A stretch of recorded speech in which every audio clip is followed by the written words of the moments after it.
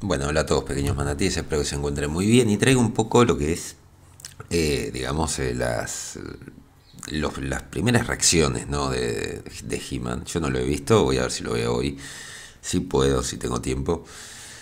Sé que son cinco capítulos, creo de media hora, una cosa así. Así que bueno, vamos a ver qué es lo que sale, pero no tengo tampoco mucho hype. Realmente después de haber visto un poco y he estado viendo a ver si las filtraciones realmente se, se han este se han cumplido. Eh, dicen que sí, prácticamente todas, todas las filtraciones se han cumplido.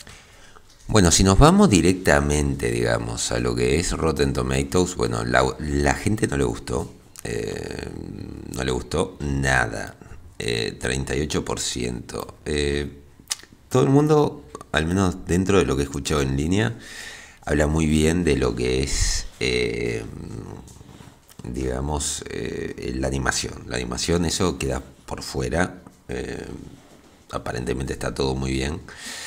La música, hay gente que le gustó, que le pareció muy buena. Este, hay gente que le pareció realmente algo malo, mm, genérico en realidad, no, no malo per se, sino como que era genérico y que no les hacía acordar a la serie original. Cuando lo vea, eh, lo, lo- se los diré. Pero esas son la- las dos posturas. Y si ustedes lo vieron, comenten todas esas cosas a ver este, qué les pareció en realidad. Ahora bien, luego de todo esto, ¿no? Eh, dice, a ver si es Matt McLoin, sí, es Matt McLoin, ¿no? Yo ya he traído un par de artículos de él, ha, digo, demostrado ser un fanático de He-Man. Y bueno, por eso me pareció interesante poder traerles un poco la visión de, un fanático. Dice que acaba de terminar de ver la serie eh, en Netflix y de la opinión de que sí, Kevin Smith mintió a los fanáticos sobre He-Man y el programa, como tuiteé después de ver es Disney, Star Wars y The Last Jedi nuevamente donde los personajes masculinos están hechos para verse mal, ya que se trata de empoderamiento eh, femenino expensa de esos personajes masculinos, un personaje masculino que era la raza de carácter intercambiado. Kevin Smith dijo que el programa tiene que ver con He-Man y que se comercializó y promocionó de esa manera, pero yo preguntaría dónde estaba He-Man. Apareció en el primer episodio y no hizo mucho, y luego fue relegado a escenas de flashback básicamente innecesarias en los siguientes tres episodios y ni siquiera apareció en el episodio final. Master of the Universe Revelation tiene que ver con Tila y se insinuó que Tila era lesbiana, lo que demuestra que los rumores son correctos. Sí, Kevin Smith le debe a Clownfish una gran disculpa. El problema no es que sea centra en Tila, el problema es que era He-Man y los amos del universo. Y He-Man eh, debe ser el centro. O sea, eh, hay gente que, que dice, y creo que tiene razón, He-Man era el programa para chicos y Shira era el programa para chicas. Eh, ya tuviste tu Shira, donde hiciste un programa dirigido a, las chicas, entonces ¿por qué He-Man no puede estar dirigido a los chicos centrándose en He-Man? Porque todo tiene que ser políticamente correcto. Y ese es el problema, y eso es lo que le temo a, esta, a esta serie. Si vos dejas de lado He-Man, ya no es He-Man. Y los amos del universo. Y llamalo Masters of the Universe, pero al menos si te vas a centrar en Tila, pone Tila ah, y los amos del universo. Nada más. Era todo lo que tenían que hacer. Entonces, ese clickbait, si llegó a comprobar de que, y lo voy a comprobar, ya veo, porque es lo que estoy escuchando en línea, de que es todo Tila y los amos del universo, por Dios. Por Dios. Igual el concepto, por lo que pude ver, es eh, tomado de Revelation número 1. Va, es lo que leí en Revelation número 1, el de la espada. Y por qué este. Y el tema de la fractura, ¿no? Eso se explica ahí en ese cómic. Que es, digamos, un cómic explicativo de cómo Grayskull forja la espada del poder. Pregunto, ¿por qué mentir? Porque las mentiras es simplemente no decir que es una historia de Tila. De hecho, podría haber sido bueno, ya que la animación y la música eran bastante épicas. Y también pensé que la historia era bastante decente, pero tuvieron que agregar toda la propaganda antimasculina y las bromas anti-He-Man, porque simplemente es innecesario. Eso es cierto, me pasó lo mismo igual con Black Widow, por ejemplo, cuando le decían a, a Natalia por qué hacía esas poses, eh, Florence Pugh que yo pensaba, ¿por qué estás eh, queriendo deconstruir eh, el género de superhéroes en una película de superhéroes? Es, yo que sé, para Deadpool te la banco, pero para Black Widow no. Como que está fuera de lugar. Además, una palabra dirigida a Ted Biaselli. Debería avergonzarse de sí mismo, señor. Eres un gran fanático de He-Man con una colección de figuras de acción gigantesca, pero agotaste a todos los niños que vieron el programa original o jugaron con las figuras de acción. Tenía una carta impresa en la revista He-Man cuando tenía nueve años que decía, querido He-Man, me gusta cuando dices por el poder de Grayskull, tengo el poder. Ese poder para promover la agenda políticamente correcta debería darte vergüenza. Si algún ejecutivo de Mattel lee esto, ¿de verdad crees que mi de nueve años, a quien está dirigida esta serie, va a comprar una de tus nuevas figuras de acción? Adivina otra vez. Obviamente Mattel no es consciente de cómo la mercancía de Star Wars se hundió por completo después del lanzamiento de las Jedi.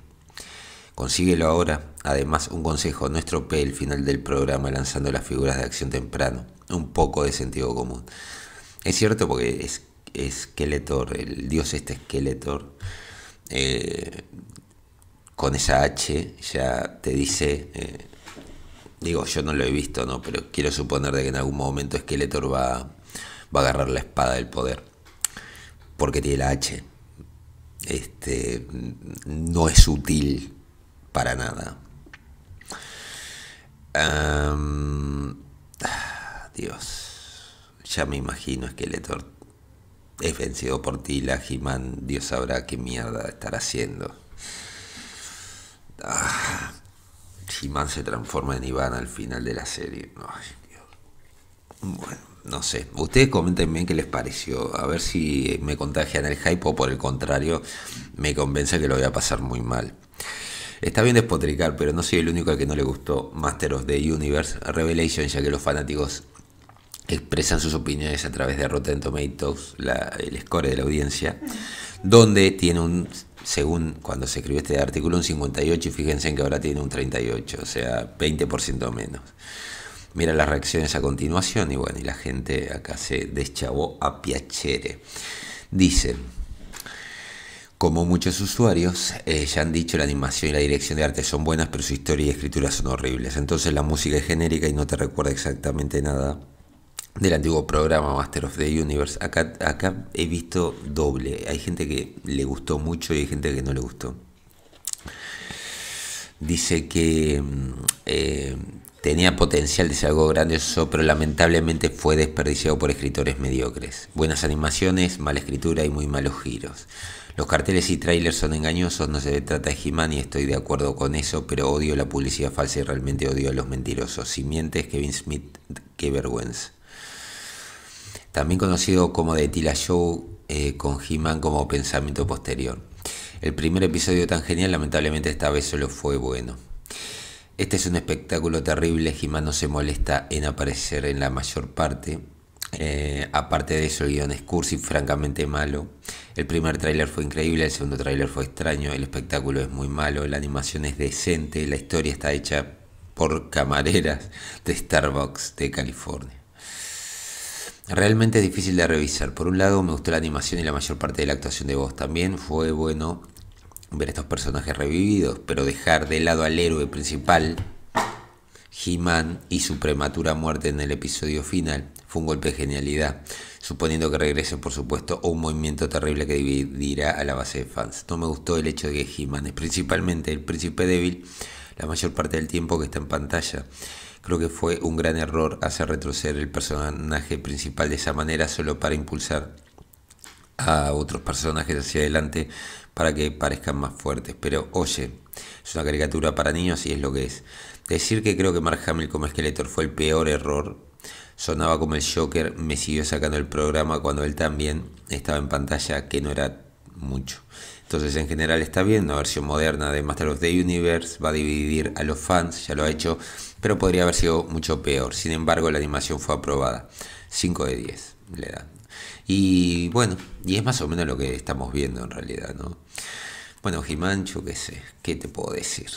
¿Qué te puedo decir, Jimán? hoy te voy a ver y bueno, hoy voy a tratar de verlo y no sé, saldré escamado o no. Ustedes pónganme en la caja de comentarios a ver qué les, qué les parece, ¿no? O sea, qué les pareció si la vieron o qué esperan si no la vieron.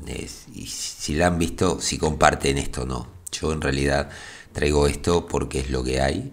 Eh, a mí realmente el, tema de spoiler no me molesta. más cuando estoy viendo una serie, estoy viendo lo que es la estructura y demás, y a ver si me convence o si hay algo que no me gusta, si tiene alguna fundamentación o, o del punto de vista de escritura eh, es lógico lo que te plantea. Entonces, para mí, eh, el spoiler es me puede dar más ganas de ver una película. Así que, o una serie en este caso. Así que bueno, dejen todo en la caja de comentarios. Saludos a todos y nos vemos en un próximo vídeo. Hasta pronto.